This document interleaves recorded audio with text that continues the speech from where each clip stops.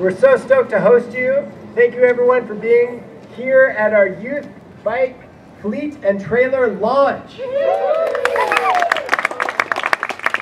Uh, and we get a call, we get a call from Jacob over here, Jacob Seigel Boettner from Pedal Born Pictures, the, the filmmaker, along with his brother Isaac, of Single Track High, which was the, uh, the screening where we raised the funds for this.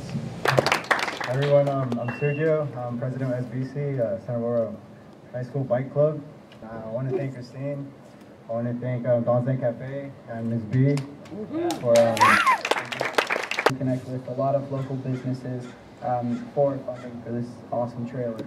And we are really excited that the following companies saw the need and value in our community to see that more kids need to be out riding their bikes.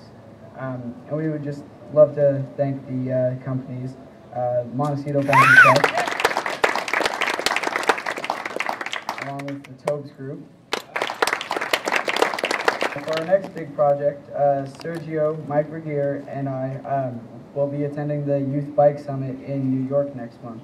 We are we're very excited, and our goal is to bring back some new and really cool ideas um, for bike advocacy and accessibility here in Santa Barbara. Thank you. And uh, our youth bike fleet will be ready in five, four, three, two, one.